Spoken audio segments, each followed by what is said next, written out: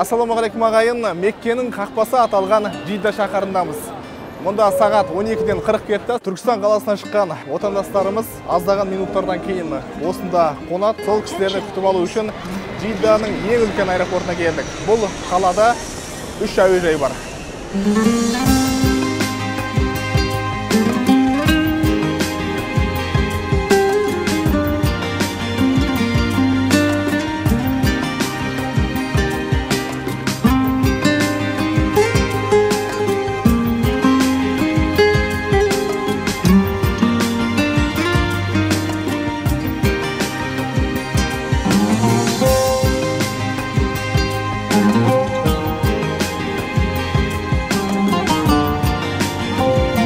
Жадид деп аталады. Жаңа әуежай қонып көрдіңіздер ғой иә?